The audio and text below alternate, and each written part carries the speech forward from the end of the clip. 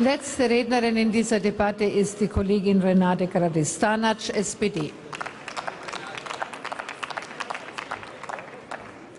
Frau Präsidentin, meine sehr verehrten Damen und Herren! Heute betreten wir Neuland. Die SPD-Bundestagsfraktion hat sich, und da bin ich richtig froh, mit ihrer Forderung nach einem Spezialgesetz durchgesetzt. In meiner letzten Rede, Herr Stadler, Sie erinnern sich, habe ich gefordert, dass wir nicht nur das Telemediengesetz ergänzen, sondern ein eigenes Gesetz beschließen. Wir zeigen damit, und mir ist es auch noch mal wichtig, was die nach uns alle machen, das machen die dann in ihrer Verantwortung. Aber wir wollen, dass es keine Ausweitung auf andere Inhalte gibt. Meine Damen und Herren, wir haben, und das finde ich, sollten wir auch hervorheben, die Ergebnisse der beiden Anhörungen sorgfältig ausgewertet und die Forderungen der durchaus kritischen, und das zeichnet uns ja auch aus, dass wir kritische Expertinnen und Experten eingeladen haben, weitgehend aufgenommen haben. Unter anderem, das hätte ich nicht geglaubt, dass uns das alles gelingt, löschen, versperren.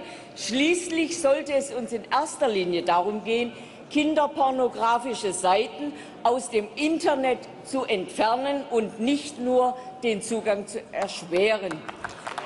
Keine Weitergabe von Daten durch die Internetwirtschaft. Damit wollten wir auch den Missbrauch mit den Daten verhindern. Wichtig ist mir auch die Kontrolle der BKA-Liste. Meine Damen und Herren, es handelt sich um einen sensiblen Bereich, und darum haben wir das Gesetz bewusst befristet. Und schon nach zwei Jahren erwarte ich und viele von uns eine sorgfältige Evaluation. Ich will auch noch mal daran erinnern, dass wir damit die Verträge der Zugangsanbieter mit dem BKA, die auf vertraglicher Grundlage in die Grundrechte ihrer Kunden eingreifen, auf eine rechtsstaatliche Grundlage stellen, das haben die übrigens bei der Anhörung, übrigens die, meine ich, die Internetwirtschaft, auch gefordert oder von uns erbeten. Ich halte dies allein schon aus verfassungsrechtlicher Sicht für geboten. Als Kinder- und Jugendpolitikerin habe ich zwei Weltkongresse gegen die kommerzielle sexuelle Ausbeutung von Kindern habe ich daran teilgenommen. Der Schutz übrigens der Kinder umfasst Menschen bis zum Alter von 18 da haben wir noch eine Zukunftsaufgabe. In Yokohama, also im Jahr 2001, haben wir die Bedeutung der Verbreitung von Kinderpornografie durch das Internet erstmals thematisiert.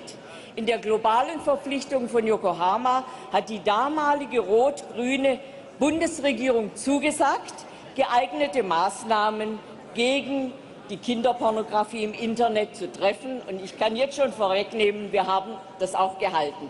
Unter Rot-Grün wurde der erste nationale Aktionsplan aufgelegt und damals Handlungsdefizite beseitigt, nämlich unter anderem das Strafrecht verschärft. Und da sind wir heute ganz froh drüber.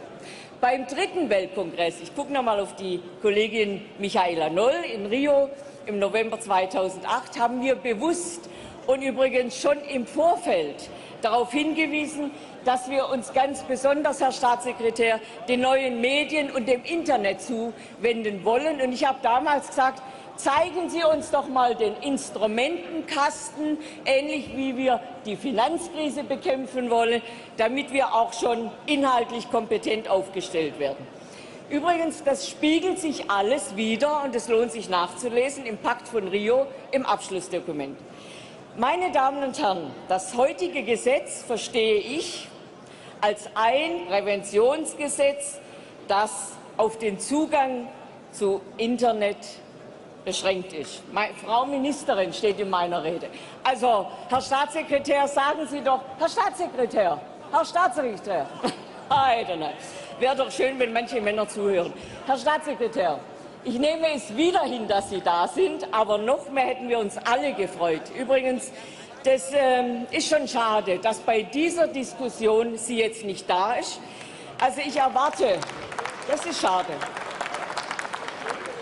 dass Frau Ministerin jetzt nach diesen Schritten ein Gesamtkonzept vorlegt, weil dieser Schritt alleine ist für uns in der SPD nicht ausreichend und nicht zielführend genug. Wir brauchen ein Konsequenz Gesamt, keine einmaligen, das kann sie gut, einmaligen Signale oder symbolischen Schnellschüsse.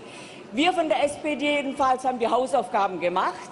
Wir haben einen umfassenden Zehn-Punkte-Plan beschlossen und dann auch gefordert, einen Aktionsplan Prävention, Opferschutz, Maßnahmen gegen Kinderprostitution zu intensivieren, Medienkompetenz zu verbessern, Zielvorgaben für die Tourismuswirtschaft, die immer noch glaubt, da nichts tun zu müssen und so weiter. Personelle Ausstattung ist heute schon Falle, technische Ausstattung. Da sind auch die Länder gefordert. Wir wollen eine bessere internationale Zusammenarbeit, Vernetzung und das wird jetzt meine SPD äh, freuen. Wir wollen auch im Aktionsplan die Kinderrechte verankern. Wir wollen, dass die in die Verfassung kommen. Nur dann wird ein Gesamtkonzept raus.